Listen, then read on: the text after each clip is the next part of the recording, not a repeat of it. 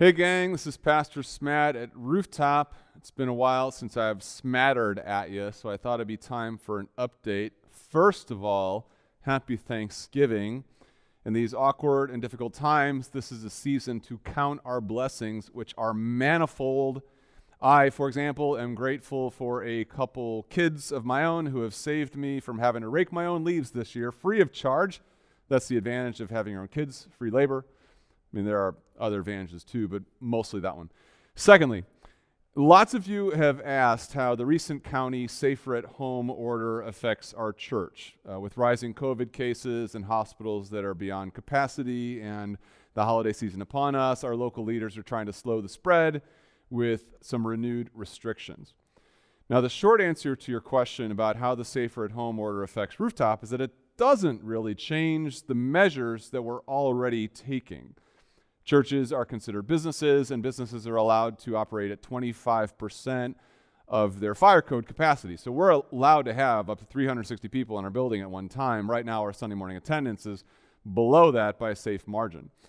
Now, the order also requires us to keep the building clean and space people out as best we can, which we're trying to do. The county has also required face masks, and let the, less the masks prevents you from doing your job. We've got face masks available for anybody who wants to come worship with us. The singers and the speakers on stage are far enough away it shouldn't be a problem. So, with those measures being taken, feel free to join us on Sunday morning. If you want information about our kids' classes or the COVID situation, visit our website or if you just need to stay at home because of your conscience or you're not feeling well, feel free to watch us online at rooftop.org/tv. We are happy to see you online either way, no judgment. Before I smine off though, I do want to take an additional minute and remind you of the two biblical principles that we've committed ourselves to as we muddle our way through this health situation. I consider these principles the two handrails that we are grasping onto as we stumble our way forward in the dark. The first handrail is submit to our leaders. The Bible says that we should submit to our leaders. Uh, Paul writes to the Romans, Let everyone be subject to the governing authorities, for there is no authority except that which God has established. It is necessary to submit to the authorities, not only because of possible punishment, but also as a matter of conscience. As Christ submitted to the authorities of his day, Scripture asks us to submit to ours. God wants us to focus on preaching the gospel of Christ to people who need to hear it. And when Christians turn into protesters, it can distract from the message of the gospel that we want to proclaim. Now, to be sure, this isn't a blank check. There is a point at which Christians are called to resist authority. As Scripture says elsewhere, we must obey God rather than men. We might get to that point. And the elders are proceeding deliberately and prayerfully through the situation. But speaking for myself, I don't believe that we're at the point where civil disobedience is required. Right now, I think it would be an unnecessary distraction from our purpose as a church, which is to be followers of Christ, who make followers of Christ, who make followers of Christ. Now, I know this is hard for a lot of you to accept. I mean, we're Americans, we like our freedoms. But submission to authority is good for the soul. It challenges our pride, which is a good thing, and it's also an act of worship. As Peter writes, submit yourselves for the Lord's sake to every human authority. So that's handrail one.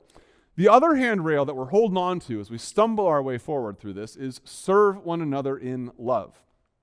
This is probably less objectionable, but just as important. I mean, this coronavirus situation is our chance to show the world what love looks like and what the church can look like. As Jesus tells us, by this everyone will know that you are my disciples if you love one another. Now, I know that this situation is challenging and frustrating for everybody in some way, but can we stay focused on our primary mission, which is to love? You might be frustrated with the government right now. But are you letting your frustrations keep you from praying for sick people and for the hospital workers who are working overtime to keep our medical establishment running? You might be royally ticked off at your school district for their boneheaded decisions, but are you encouraging and praying for the teachers and for the administrators who might be disappointing you? You might be just peeved at your church leaders, but are you communicating lovingly and humbly with them. You can be mad, you can be frustrated, but you can't stop loving. Even if you think the coronavirus situation is overblown, we can still love each other.